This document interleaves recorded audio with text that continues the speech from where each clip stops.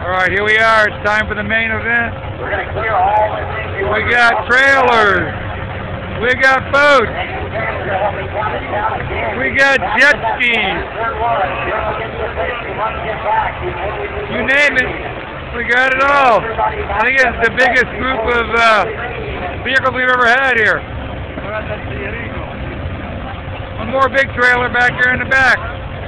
We'll see how they do.